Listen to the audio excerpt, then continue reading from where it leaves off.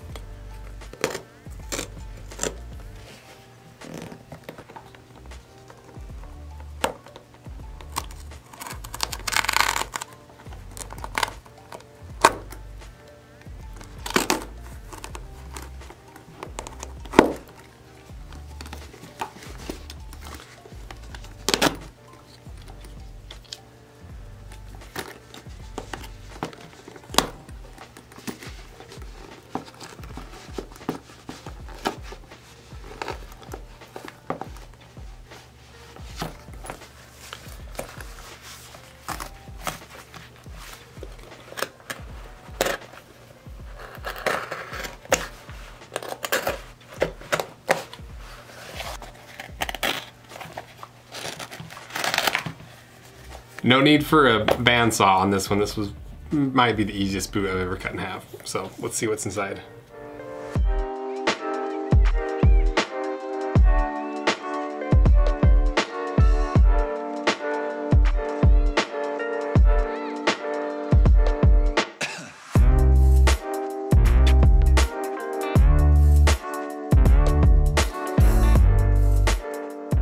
So the first thing that really surprised me while I was cutting this apart was how not connected the insides were.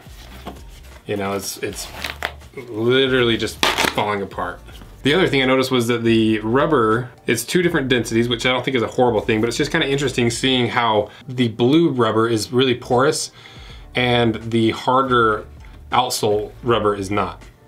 So I'm interested to see if this is a trend that we'll, we're gonna see throughout all the other uh, duck boots or if it's just this one and it's a cheaper way to make a softer foam. You know, and that's and that's why I, I like doing these series is because a, a one-off boot of a duck boot, I don't really have a whole lot to compare it to because I don't know every single thing about every boot in the entire world. I've just been kind of learning this as I go along. So series allow me to break down several price points to see what might have caused companies to go with certain materials and cut corners on certain things. So Let's go through the layers and identify what they are, starting with the outsole, working our way up. The outsole is that harder rubber. Then it goes up to the softer layer of rubber that's porous.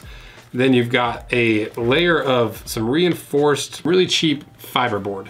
Then above that, you've got the foam, and then topped with that polyester fleece lining. And then as for a counter, there's no counter in here. There's no shank. The only other thing is really the foam batting. So that's really all there is to it. Not a whole lot to this boot, and it's to be expected. It's only $30. So now let's go through the pros and cons of this boot. Pros, it's $30 if you've got 30 bucks and that's all you've got. It's something on your feet. But cons, you know, that the looks like the outsole's already splitting apart. It's not leather. It's not gonna last very long. It's a pretty thin rubber and I don't think it's very waterproof and that's in the finale where we, we compare all three of them, we're gonna do a waterproof test of all, all of them, combine and dunk them in the tank and see how long it takes for water to creep in. But judging by the fact that the thread goes all the way through the uh, rubber to the lining, that's gonna leak water in pretty quickly. Another con is fake leather is, is really hit and miss. You can get some decent fake leather, you know, like the Doc Martens vegan leather really surprised me. And then you can get some really cheap fake leather that's just polyurethane layer on top of fabric and it breaks super easy and it rips super easy like we see here. So overall, what do I think of this boot? I think you should stay away from this boot at all costs. If you literally only have $30 and there's nothing on your feet, at least it's something on your feet, but there's a lot better alternatives out there for a, a, little bit more money. And that's not to say all of Walmart's boots are terrible because I think there's some there's some okay boots there, but I would just stay away from their super, super cheap section of, of their boots. And maybe the biggest bummer about these boots is that they're so poorly built out of such terrible quality materials that these just end up in landfills within a short amount of time. And the people that are making these boots usually aren't in the best working conditions and don't have the best wages. Kind of a huge bummer. And I, I wish people, I wish there was a law to where you, you had to design products that are guaranteed to last a certain amount of time or just prove that the product that you're making is designed not to be fast fashioned, to show that it's not gonna wear out after a few times wearing it because these are so terrible.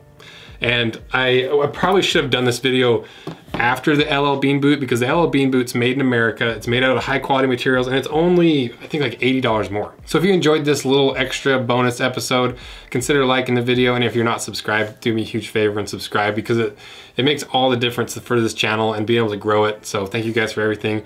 LLB boot, LL Bean boots, LL Bean boots. This is gonna, that's gonna be a long video if I can't say that. LL Bean boots are next. So see ya.